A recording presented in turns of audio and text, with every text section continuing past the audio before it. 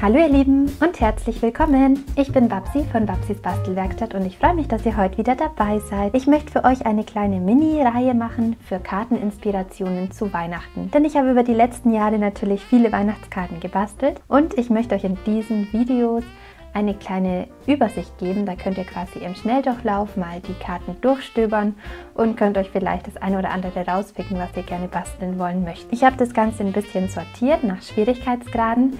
Im ersten Video eher sehr aufwendige, kompliziertere oder schwierigere Karten. In den anderen Videos wird es immer ein bisschen leichter, sodass man, je kürzer man noch Zeit hat bis Weihnachten, sich da immer noch mal gucken kann, was ich mir jetzt noch auf die Schnelle raussuchen kann und basteln. Unter dem Video sind auch alle Karten verlinkt, zu denen es eine Anleitung gibt. Da könnt ihr dann auch die ganz genaue Anleitung nachschauen gehen. Und in jedem Video gibt es einen kleinen Gewinn. Das heißt, wenn ihr dann unter dem Video einen Kommentar da lasst, dann verlose ich unter allen Kommentaren je eine unterschiedliche Prägeform. Ich schreibe dann immer oben hin den Namen der Prägeform, den ich verlose. Dann könnt ihr entscheiden, ob ihr da einen Kommentar hinterlassen möchtet bei dem Video und somit an der Verlosung mit teilnehmen möchtet. Alle Verlosungsbedingungen schreibe ich euch auch nochmal in die Infobox. Jetzt geht's los, viel Spaß! Herzlich willkommen zu Teil 3 in unserer kleinen, schnellen Karten Karteninspirationsreise könnte ich sie nennen. Ich freue mich, dass ihr wieder dabei seid. Übrigens, wenn ihr Teil 1 und Teil 2 sehen wollt, könnt ihr gerne hier oben in die, auf das weiße i klicken. Da verlinke ich euch die ganzen Videos zu Kartenideen, die ihr vielleicht ein bisschen aufwendiger basteln könnt, aber zu einem Überblick, wo ihr auch ganz, ganz tolle Inspirationsvideos findet. Ich starte jetzt mit einer wunderschönen Karte, die ihr eigentlich ganz gut selber basteln könnt, wenn ihr ein bisschen Experiment experimentierfreudig seid sozusagen. so würde ich das Ganze formulieren. Also wir haben hier quasi zwei äh, Weihnachtsbaumkugeln, die man selber gemacht hat. Das ist ein, glaube ich, relativ altes Video von mir. Und zwar habe ich hier einfach mit einem Silberdraht zwei geprägte Kreise, die ich mit so schönen Mustern geprägt habe und ein bisschen koloriert habe, als Weihnachtskugeln gestaltet und dann als Weihnachtskarte verpackt sozusagen. Also eine ganz, ganz schlichte Karte mit kleinen Schleifchen hier oben.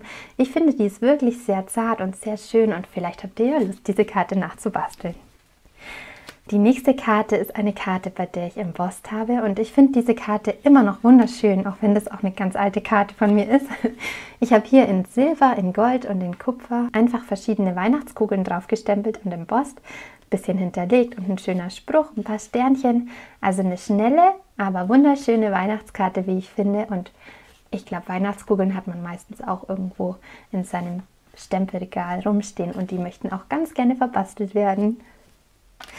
Die nächste Karte ist ein bisschen aufwendiger, aber grundsätzlich auch einfach zu basteln. Das heißt, wenn ihr jetzt nicht mehr so ganz so viel Zeit habt, könnt ihr trotzdem überlegen, ob ihr vielleicht diese Karte gestalten möchtet.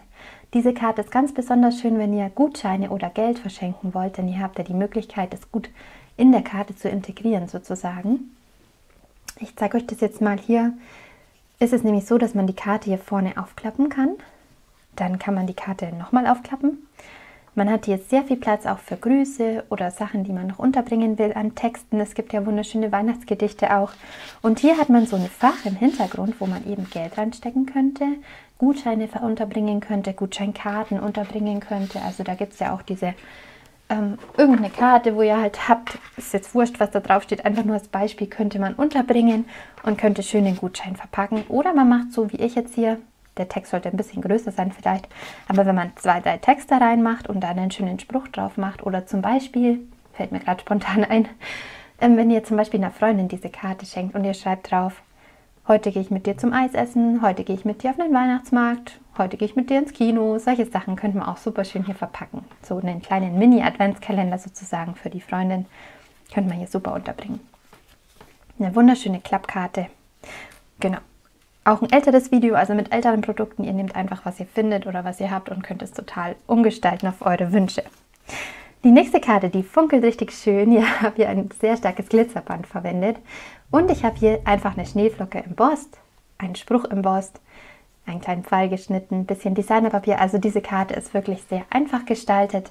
Hier innen dann auch nochmal mit dem Designerpapier und mit einer Flocke ein bisschen das Ganze dekoriert. Die Flocke ist auch embossed. Sieht einfach wunderschön aus, wenn so eine Schneeflocke embossed wird, finde ich. Und ja, eine einfache Karte, vielleicht eine ganz süße Kartenidee von der Form. Ja, diese Karte tatsächlich habt ihr im letzten Video schon gesehen.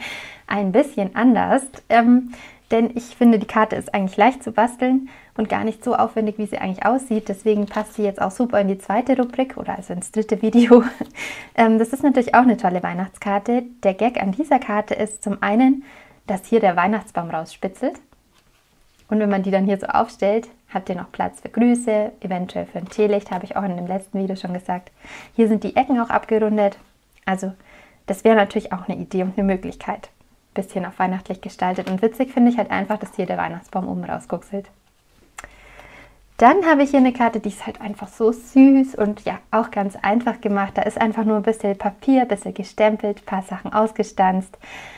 Es ist halt einfach meins. Ich finde es einfach süß. Ich mag auch so niedliche und süße Sachen immer ganz gerne. Und ja, dieses kleine Rehlein ist halt einfach zauberhaft. Auch eine ganz, ganz alte Karte von mir, ein ganz altes Video.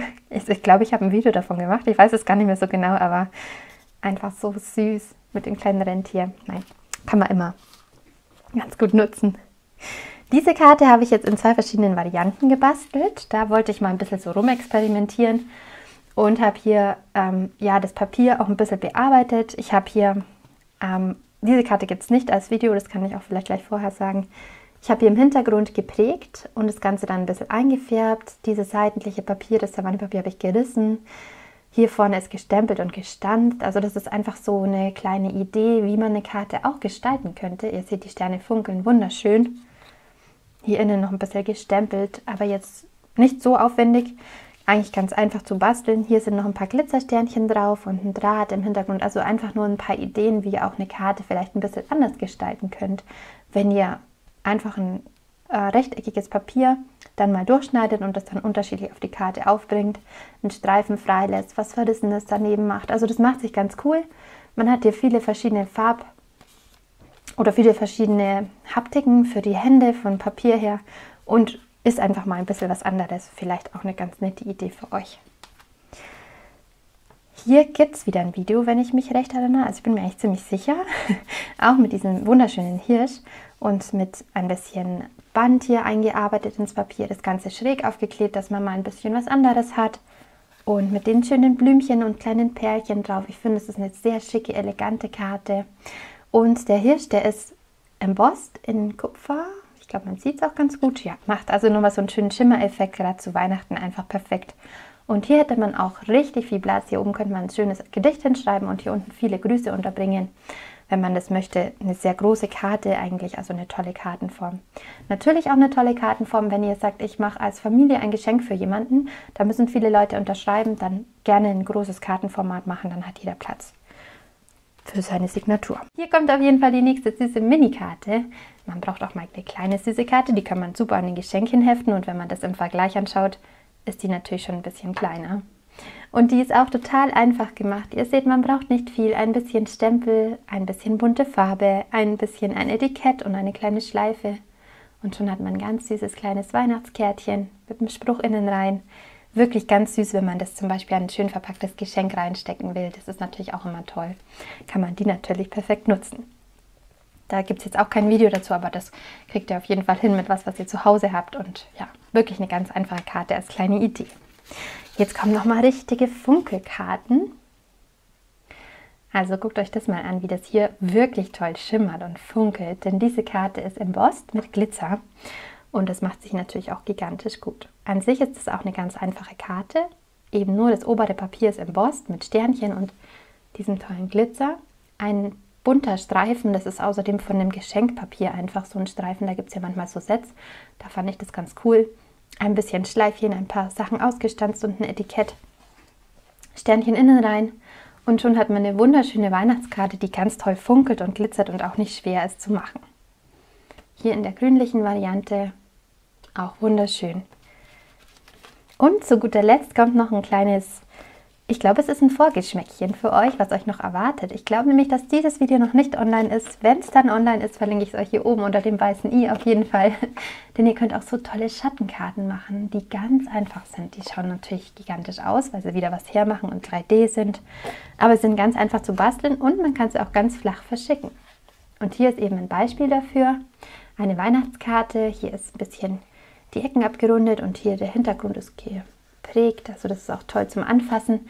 Und man hat einfach hier so ein kleines süßes Häuschen in der Winterlandschaft stehen. Könnte man auch super nehmen, natürlich als Geburtstagskarte für Winterkinder, finde ich, gerade mit so einem Papier. Hinten habt ihr noch Platz für liebe Wünsche. Und ja, das waren schon meine Kartenideen, die ganz schnell und einfach gemacht sind. Kartenvideo Nummer 3. Ich hoffe, es gefällt euch. Ich hoffe, es hat euch Spaß gemacht, mit mir so einen kleinen Schnelldurchlauf zu machen. Ich hoffe auch, dass ich nicht zu schnell gesprochen habe, weil ich möchte natürlich, dass die Videos relativ kurz bleiben und knackig sind. Ähm, ja, falls ich doch ein bisschen zu schnell gesprochen habe, bitte verzeiht mir das.